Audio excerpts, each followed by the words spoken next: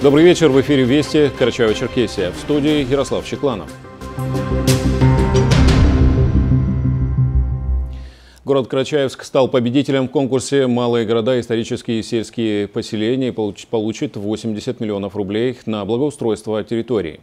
В Нижнем Новгороде в рамках форума «Среда для жизни. Город и вода» состоялась церемония награждения победителей конкурса «Малые города, исторические и сельские поселения».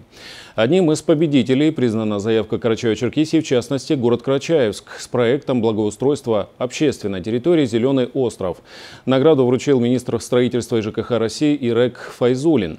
Отмечу, что впервые один из городов республики выигрывает в данном конкурсе. Глава Карачаева-Черкесии Рашид Тимрезов поздравил Карачаевск с победой.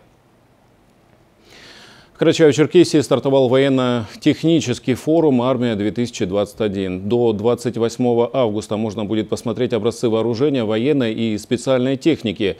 Кроме того, для жителей и гостей Черкеска подготовлена зрелищная программа, включающая работу полевой кухни и демонстрацию различных ситуаций преодоления водной преграды, захват и уничтожение условного объекта противника, стрельба из разных видов вооружения и многое другое. Ахмат Халкечев продолжит.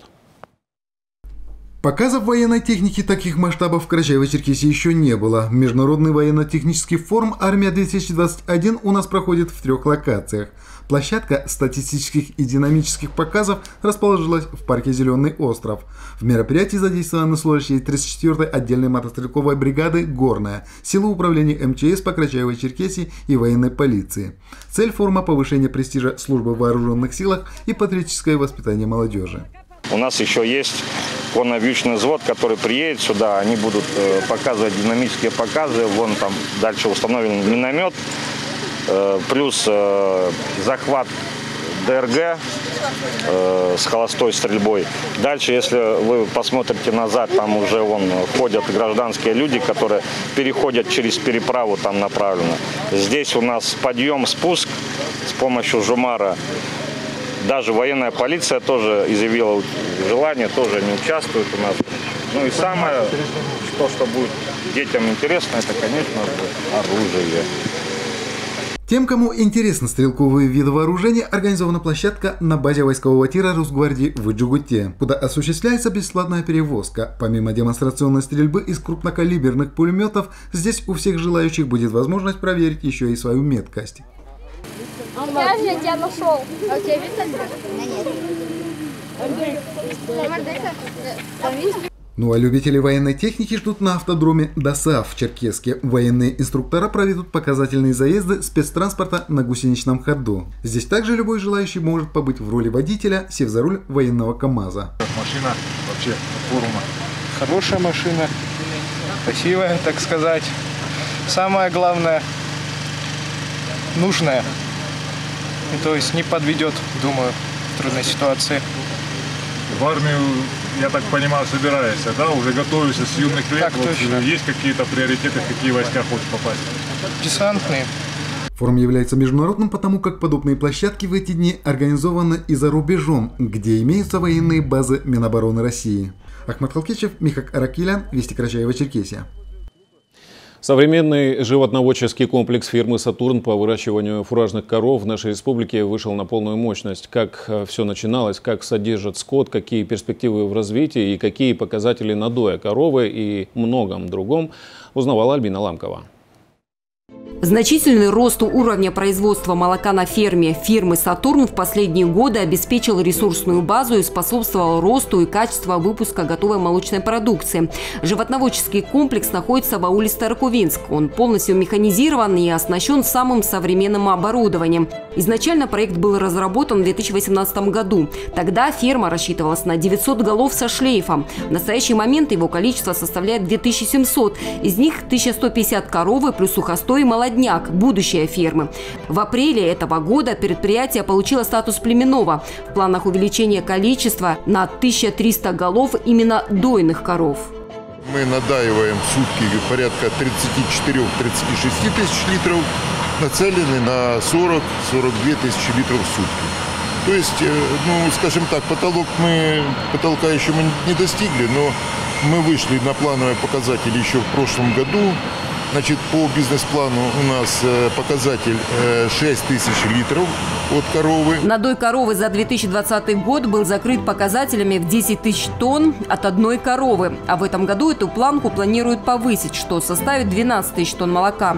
Оно высшего сорта и с определенной жирностью, соответственно, и качество на уровне. Затем его дальнейшая переработка происходит на своей же фирме «Сатурн». Компания успешно работает на молочном рынке Юга России с 1992 года.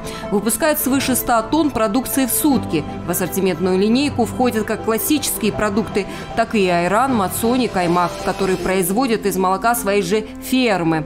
Самые известные бренды выпускаемой продукции выходят под маркой «Добрый молочник», «Кавказский долгожитель» и «Бабулины продукты». Сатурне особое внимание уделяют качеству молока и увеличению его количества. На ферме идет непрерывный процесс развития. Занимаются мелиорацией, создают собственную кормовую базу, применяются прогрессивные технологии заготовки и хранения кормов. Построена новая яма на 7,5 кубических метров для силоса и сенажа. Возведен навес для сена. Растет количество поголовья, поэтому была необходимость и в строительстве нового коровника фермы Рея фирмы «Сатурн». Можете наблюдать, ведутся монтажные работы, то есть как бы строительная часть практически закончена. И сейчас ведутся монтажные работы именно того оборудования, которое предназначено для содержания животных, для их комфорта, для того, чтобы возможно было с этими животными работать. Ну, в частности, щетки-чесалки установлены, хедлоги, автоматические поилки, вентиляторы. Ну, вот э, все идет как бы к завершению. Также Сергей Борисович рассказал, что благодаря оказанной Министерством сельского хозяйства России и правительством республики идет значительная поддержка субсидиями, что дает возможность строить планы и развиваться дальше. Альбина Ламкова, Роберт Джигутанов, Вести Карачаево-Черкесия, Адыхабльский район. По информации оперштаба, сегодня в Карачаево-Черкесии выявлено 50 новых случаев заражения коронавирусной инфекцией. С начала пандемии общее количество заболевших в республике составило 23 841 человек. Из них 21 434 выздоровели, 694 человека госпитализированы. Наши корреспонденты в своих репортажах с регулярной периодичностью рассказывают о положении дел по борьбе с распространением COVID-19 в резерве, э, в разрезе городов и районов. Предлагаем вашему вниманию сюжет Мурата Дженкезова из Прикубанского района. Карачаево-Черкесии за сутки выявляются десятки новых случаев заражения коронавирусной инфекцией. Несмотря на ускорившуюся вакцинацию, прогнозы врачей крайне сдержанные. Особую тревогу у них вызывают те, кто проводит отпуск на морских курортах. Обстановка крайне напряженная. Обстановку усугубляют нам, э, я их так называю, моряки, которые с побережья вернулись.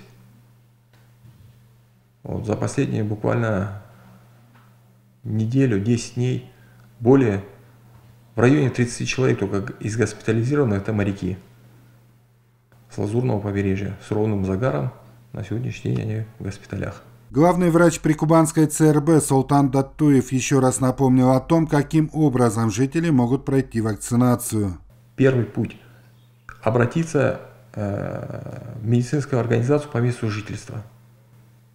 Второе обратившись к участковому терапевту, пройти вакцинацию э, на дому. Третье.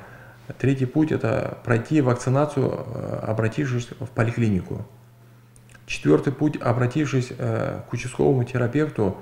Э, у нас, э, если вот человек хочет пройти вакцинацию в поликлинике, но у него нет э, возможности приехать, у нас для этих целей организован автотранспорт.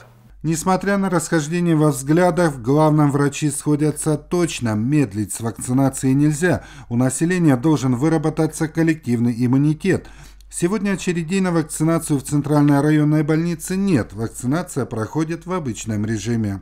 Осложнений как таковых после вакцинации не должно быть, но в первый день может наблюдаться небольшая температура до 38 градусов. Это вполне нормальное явление. При повышении температуры можете сбивать, больные могут сбивать температуру жаропонижающими средствами, такими как парацетамол. Больше никаких осложнений не должно быть. Вакцина у нас хранится в морозильнике в замороженном виде. В наличии у нас есть э, вакцина «Спутник Ви», также есть вакцина «Спутник Лайт» и вакцина «Эпивак Корона». Все-таки э, ковид группа заболевания не очень приятно, поэтому нужно прививаться. Мы с женой вместе прививаемся в один день. Это третья прививка. Первых две мы прошли уже. Общее количество подлежащих вакцинации в районе составляет почти 13 тысяч. Из них первым компонентом вакцинировано около 5700 жителей, вторым компонентом вакцинированы чуть более 5000 человек. Мурат Чанкюзов, Роберт Джигутанов, Вести Карачаева, Черкесия, Прикубанский район. И о спорте. Сотрудник МВД по Карачаю-Черкесии Руслан Шидаков стал серебряным призером чемпионата Европы по смешанным боевым единоборствам в Казани. А также Александр Есипов завоевал бронзовую медаль на первенстве Европы по тхэквондо, которое проходило в Таллине. Это все вести. Удачи и до встречи.